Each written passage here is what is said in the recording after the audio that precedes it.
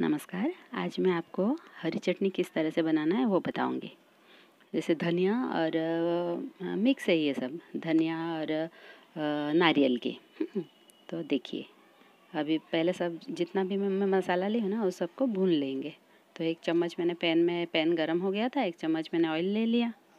अब उसमें डाल दी हूँ, ऑयल डाल दी हूँ, उसमें दो चार जो मिर्च काट कर रखी थी, ये भी डाली।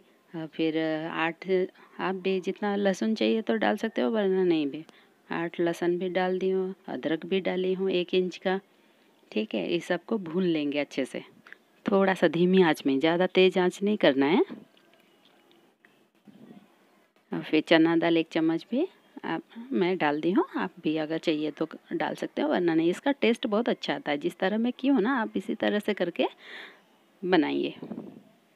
ये सबको थोड़ा हल्की धीमी आँच में भून लेने का। फिर इतना सा ढेर सारा मैंने धनिया पत्ता भी धोकर काट कर रख दी थी वो भी काट कर डाल दी हूँ इसमें। अब थोड़ा सा भूसा सेक लूँगी गरम कर दूँगी सबको अलट पलट दूँगी अच्छे से। बस थोड़ा सा ही गर्म हो जाएगा अपना तो फिर पीसने के लिए ये रेडी है। थोड़ा नरम हो जाएगा चारों तरफ़ से मिक्स हो जाएगा धनिया पत्ता।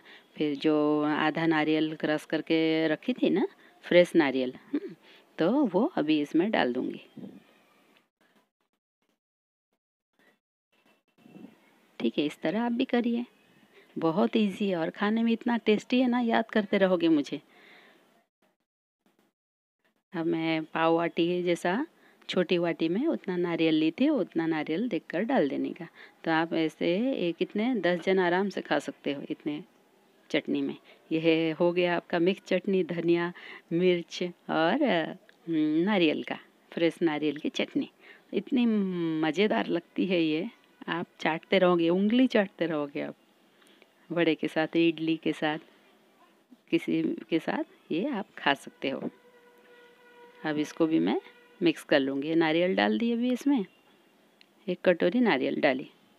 अब इसको बस घुमा देने का, गर्म होने तक इसको भी थोड़ा इधर उधर घुमा देने का, सारा सब गर्म हो जाएगा तो मिक्सी में ग्राइंड कर लेने का।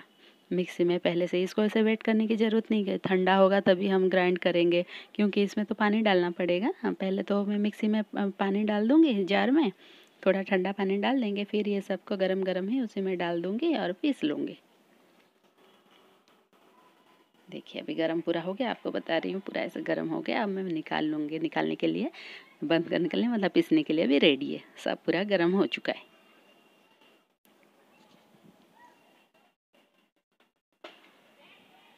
सब गर्म हो जाएगा तभी बंद कर देने का मिक्स हो जाएगा तो। मतलब आप समझोगे, सब सिकुड़ जाएगा, ये जैसे धनिया पत्ता सिकुड़ गया, ये नारियल भी एक बार इधर उधर करके गर्म, उसको भी मतलब वो भी थोड़ा सिक, सेक गया है तो समझ लेने का भी बंद करना है।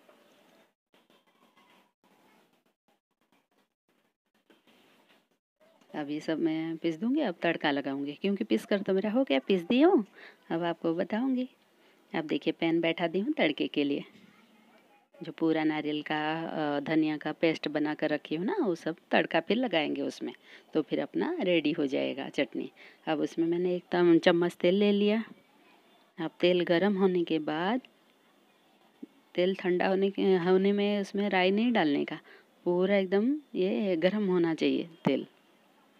तभी उसमें हम अभी राई डालेंगे।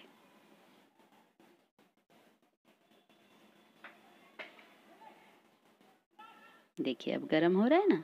दिख रहा है ना ऐसे सब? एक चम्मच, थोड़ा, पाव चम्मच, आपके स्पून में पाव चम्मच, ये राई डाल देने का स्टील के चम्मच में, थोड़ा सा। बारीक वाला भी आता है, वो भी डालेंगे तो भी चलेगा। बारीक वाला जो राई, मैंने बड़ा वाला राई ले लिया फिर मैं दो सूखी मिर्च डाल दी। ऐसे ही डंठल सहित डालने का तो देखने में बहुत अच्छा लगता है। फिर करी पत्ता सात आठ करी पत्ता भी डाल दी, सूखी या फ्रेश जैसे भी हो आपके पास करी पत्ता, वो डाल देने का, फिर इसको हिला देने का। फिर उड़द की दाल मैं भूल गई थी, अभी मुझे नहीं मिला, बाद में तड़के में डाल दूँगी। देखिए, ये सब मेरा हो गया। अब मैं जो मिक्सर में, मैं मिक्सी में पीसी थी, ग्राइंड की थी, वो सब सारी चटनी इसमें डाल दूँगी। देख रहे हैं ना, इस तरह। और भी एक्स्ट्रा पानी देंगे इसमें, क्योंकि एकदम जाड़ा है ना, आपको जाड़ा चाहिए तो भी ले सकते हो ऐसे ही। और डार्क करना चाहो तो और भी कर सकते हो। हम पानी डालने की ज़रूरत नहीं है। अगर पानी वाला चाहिए तो थोड़ा और पानी डालने का। मिक्सी में डालकर स्टर करके घुमाकर, उसमें डाल देने का। इस तरह अपना एक उबाल आने तक ये हो गया। फिर नमक भी डाल दूँगी। एक चम्मच नमक डाली।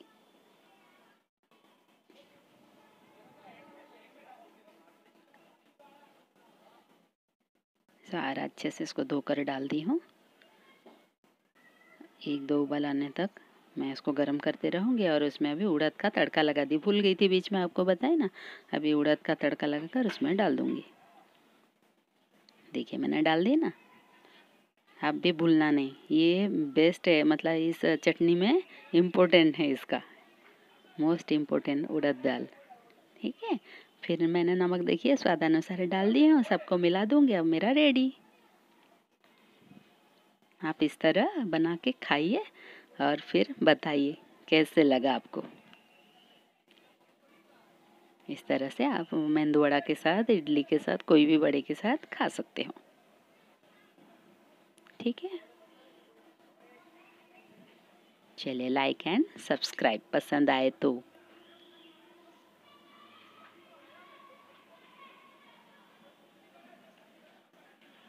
इस तरह देखिए, उबाल आने तक, ऐसे तीन चार उबाल आने तक, फिर आप थोड़ा गाढ़ा लगे तो बंद कर देने का। हो गया वैसे फ़िलहाल हो गया, मैं आपको फिर भी बता रही हूँ कि देखिए ऐसे उबाल आएगा तो ही क्योंकि कच्चा पानी था ना इसलिए, अपना हो गया कंप्लीट